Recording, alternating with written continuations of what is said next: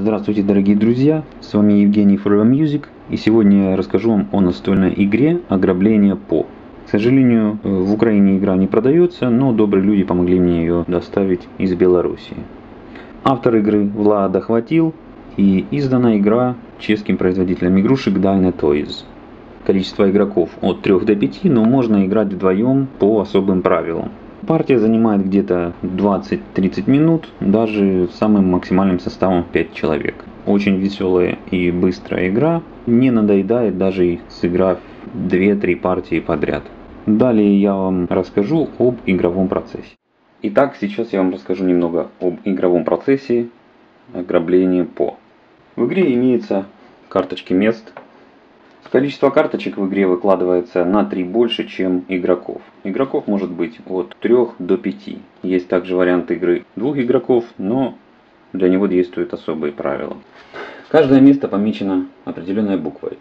И у каждого игрока есть главарь и его помощники, у которых также на карточках изображены буквы.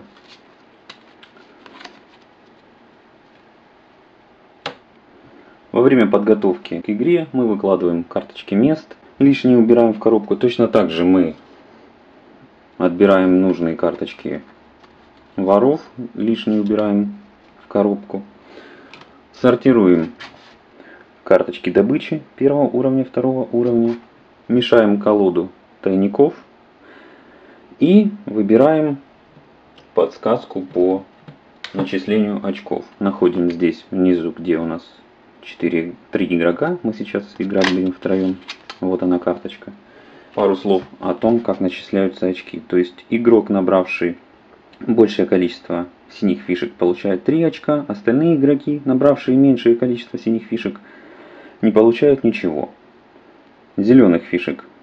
Первый игрок, набравший наибольшее количество, получает 3 очка, второй 1. И так далее. В начале первого раунда мы берем карты добычи и раскладываем по одной под каждой локацией.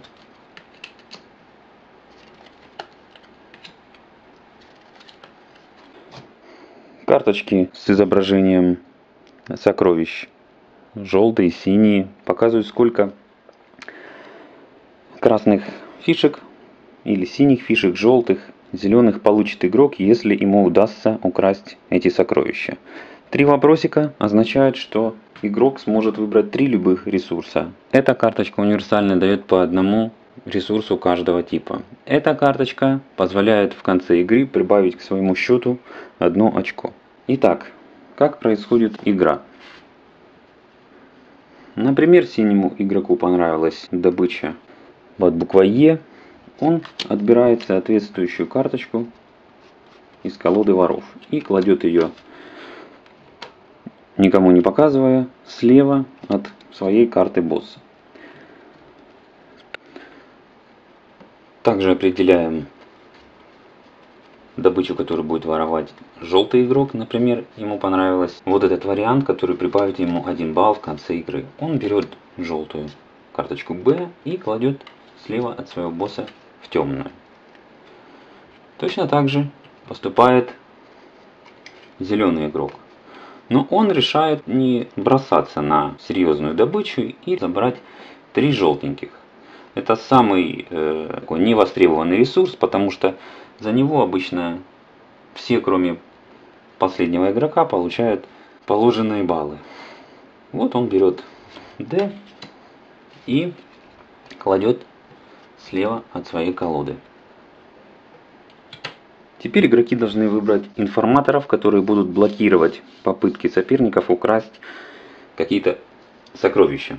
Например, синий игрок решает заблокировать возможность украсть э, сокровище под буквой Б. Он берет соответствующую карточку и кладет ее справа или сверху своей карты босса. Желтый игрок решает заблокировать вопросы. То есть три случайных ресурса. Он берет карточку С и кладет ее с другой стороны в закрытую от своего босса. Зеленый игрок решает заблокировать сокровище под буквой Е. Выбирает соответствующую карточку и кладет ее с другой стороны от своего босса. Когда все игроки определились с выбором, начинается раунд. Игроки выкладывают свои карты воров под сокровищами.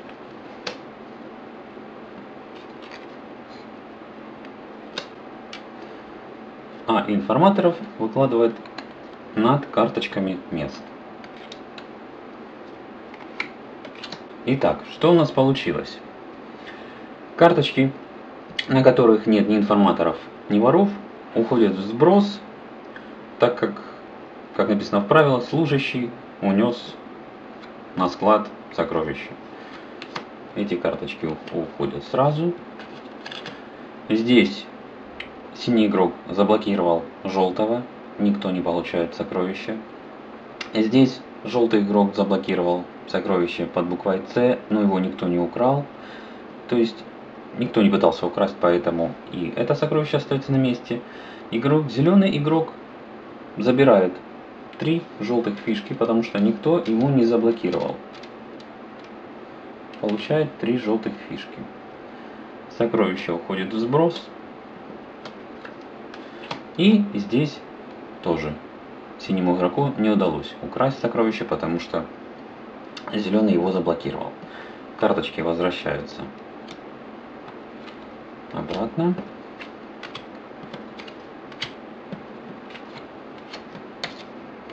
И выкладывается новые сокровища.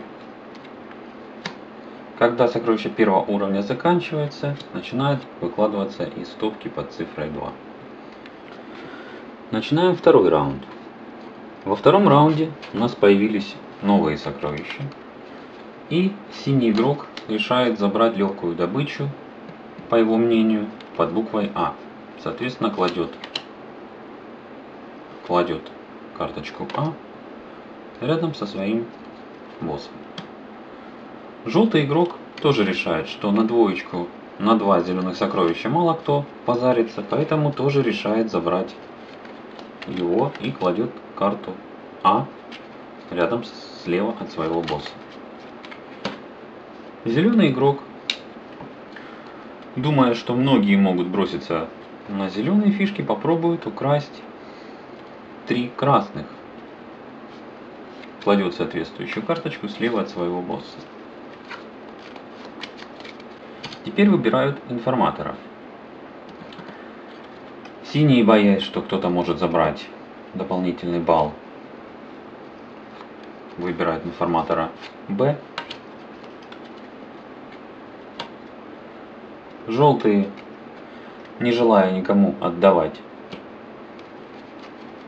4 сокровища, выбирают Е. А зеленые, знаю, что кому-то может достаться три случайных ресурса, блокируют сокровище С.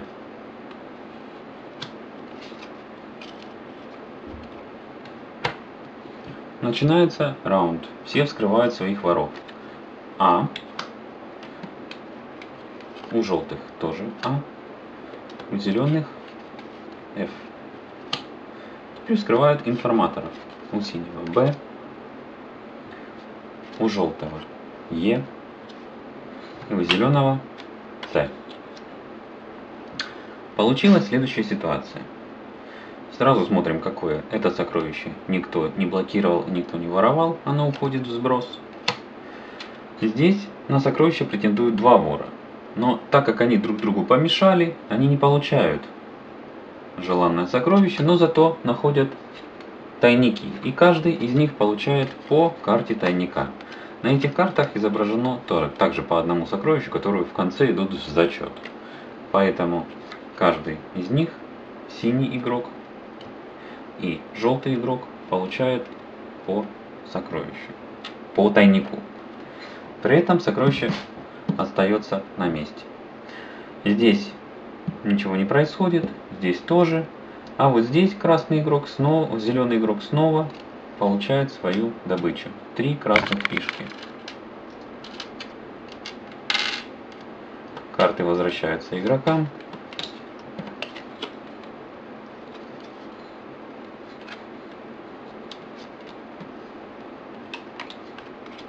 Выкладываются новые сокровища.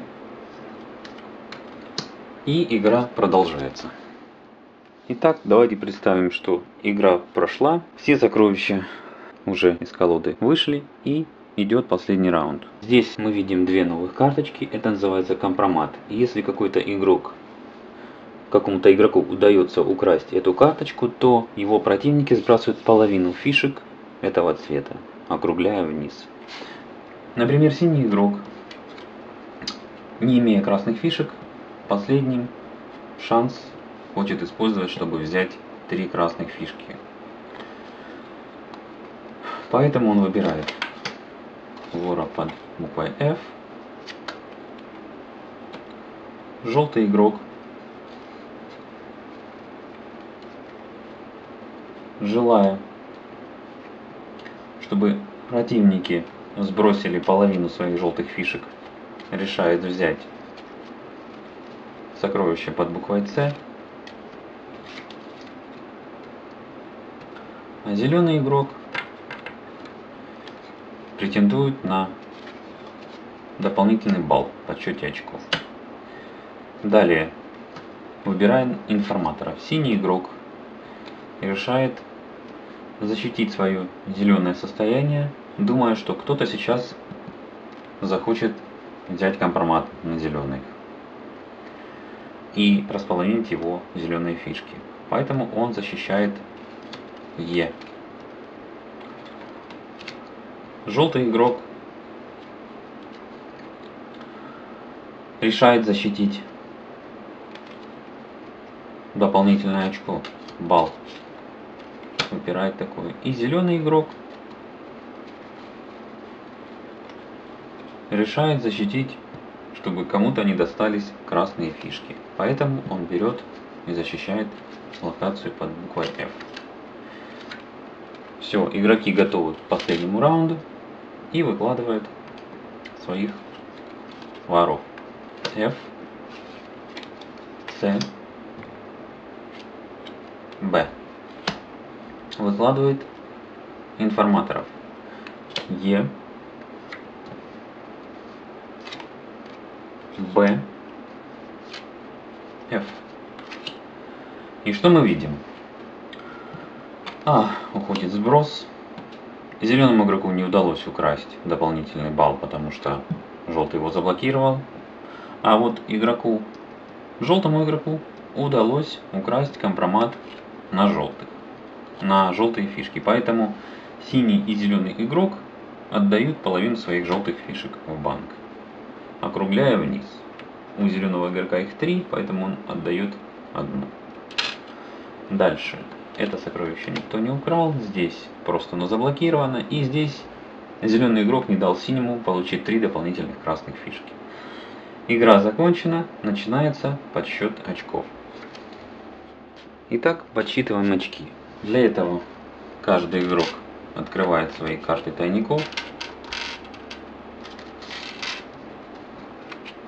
чтобы добавить баллы с них к общему количеству Итак, определяем победителя по синим ресурсам. Сразу видно, что это желтый игрок. Раз, два, три, четыре, пять. Пять синих фишек. У синего игрока раз, два, три. У зеленого две. Поэтому желтый игрок получает 3 очка, а остальные два игрока не получают ничего. По нулям. Дальше определяем, кто выиграл по зеленым ресурсам. Сразу видно, что это синий игрок. Раз, два, три, четыре, пять, шесть ресурсов зеленых. У желтого игрока два. У зеленого раз, два, три, четыре. Соответственно, синий игрок получает 3 очка, зеленый игрок получает 1 очко, а желтый не получает ничего. Дальше по красным ресурсам. У синего одна красная, у желтого раз, два, три, четыре, у зеленого раз, два, три, четыре. Синий сразу ничего не получает, 0. А вот желтых, из-за того, что у них одинаковое количество ресурса, баллы суммируются, 3 плюс 2, 5. и делится пополам, округляя вниз. То есть каждый из игроков получает, желтый и зеленый игрок получает по 2 балла. И желтый ресурс, желтого ресурса у синего игрока одна фишка, у желтого 2 и у зеленого 2. Соответственно, синий ничего не получает, а желтый и зеленый получают по 3 очка. Таким образом, синие набрали 3 очка, желтые набрали 8 очков, а зеленые набрали 6 очков. Победила желтая команда, желтый игрок. Спасибо за внимание. С вами был Евгений Forever Music. Подписывайтесь на блог forevermusic livejournal.com.